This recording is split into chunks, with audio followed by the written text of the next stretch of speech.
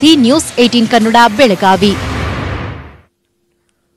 ಚಾಮರಾಜನಗರ ಸುಳ್ವಾಡಿ ಮಾರಮ್ಮನ ಪ್ರಸಾದ ಯಾರಿಗ್ ಗೊತ್ತಿಲ್ಲ ಹೇಳಿ. ಇಡೀ ದೇಶವನ್ನೇ ತಲ್ಲಣಗೊಳಿಸಿದ್ದಂಥ ಈ ಘಟನೆ ಈಗ ಮತ್ತೆ ಸುದ್ದಿಯಾಗಿದೆ. ಸಂತ್ರಸ್ತರಿಗೆ ಈವರೆಗೂ ಕೂಡ ಸರ್ಕಾರದ ಭರವಸೆ ಭರವಸೆಯಾಗೇ ಉಳಿದಿದೆ. ನೂರ ನಲವತ್ತೈದು ಕುಟುಂಬಗಳು ತುಂಬಾ ಕಷ್ಟದಲ್ಲಿ ಇದ್ದಾರೆ. ಏನ್ ಕೆಲಸ ಮಾಡೋದಾಗಲ್ಲ ಬೇಸಿಗೆ ಹೋಗೋಕ್ಕಾಗಲ್ಲ ಸಿಎಂ ನೋಡಕ್ ಹೋದ್ರೆ ಅವನು ಆಮೇಲೆ ಬಂದ್ರು. ಯಾರು ನಮ್ಗೆ ನೋಡಕ್ಕೆ ಬಿಡ್ತಾ ಇಲ್ಲ. ಕೇಳಿ ಸುಳ್ವಾಡಿ ಸಂತ್ರಸ್ತರ ಈ ಗೋಳನ್ನ ಘಟನೆ ನಡೆದು ಬರೋಬ್ಬರಿ ಒಂಬತ್ತು ತಿಂಗಳಾದರೂ ಈ ಸಂತ್ರಸ್ತರಿಗೆ ಇನ್ನೂ ಸಿಕ್ಕಿಲ್ಲ ನೆಮ್ಮದಿ. ಅಸ್ವಸ್ಥರಾಗಿ ಬದುಕುಳಿದಿರೋ ಜನರು ಸಹ ಮೊದಲಿನಂತೆ ಬದುಕಲು ಸಾಧ್ಯವಾಗ್ತಾ ಇಲ್ಲ. ಕೆಲಸ ಮಾಡಲು ದೇಹದಲ್ಲಿ ಶಕ್ತಿ ಇಲ್ಲದಂತಾಗಿದೆ. ಕಣ್ಣು ಉರಿ, ಹೊಟ್ಟೆ ಉರಿ, ಮೊದಲಾದ ಆರೋಗ್ಯ ಸಮಸ್ಯೆಗಳಿಂದ ಬಳಲ್ತಾ ಇದ್ದು ದುಡಿಯುವ ಚೈತನ್ಯ ಕಳೆದುಕೊಂಡಿದ್ದಾರೆ. ನನ್ನ ಮಗುನೂ ಊಟ ಮಾಡಿದೆ ನನಗೆ ಮೂರು ಜನ ಮಾಡ್ತಾ ನಮ್ಗೆ ಎಲ್ಲ ತೀರೋಗ್ಬಿಟ್ಟವ್ರೆ ನಮ್ಗೆ ಏನು ಕೆಲಸ ಮಾಡೋಕ್ಕಾಗಲ್ಲ ಇವಾಗ.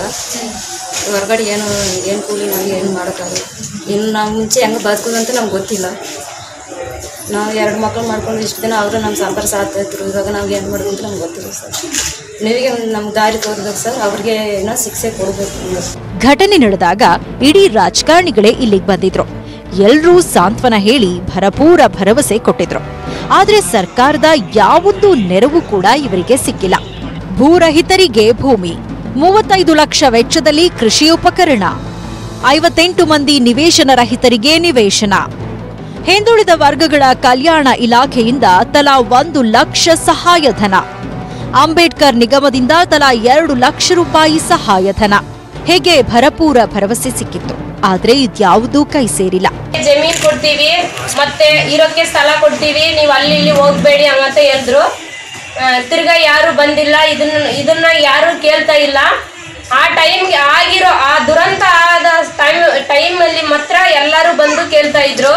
ನಾನು ತಲೆ ಕೊಡ್ತೀನಿ, ನಾನು ಕಾಲ್ ಕೊಡ್ತೀನಿ, ನಾನು ಕಿವಿ ಕೊಡ್ತೀನಿ, ನಾನು ಕಣ್ ಕೊಡ್ತೀನಿ, ನಾನು ಪ್ರಾಣ ಕೊಡ್ತೀನಿ ಅಂದ್ರು, ಈಗ ಯಾರು ಬಂದು ಏನು ಆಗ್ತಾ ಇದೆ? ಈಗ ಹಂಗಂತ ಕೇಳ್ತಾ ಇಲ್ಲ sir.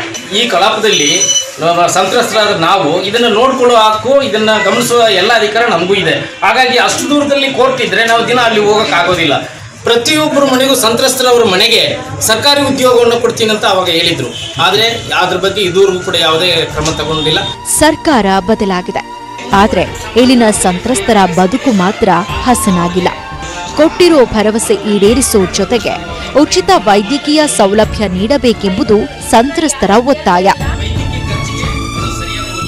S M Nandish, news eighteen Kannada, Chamarajanagar. ಮಂಡ್ಯದ ಕೆಆರ್ಎಸ್ ಜಲ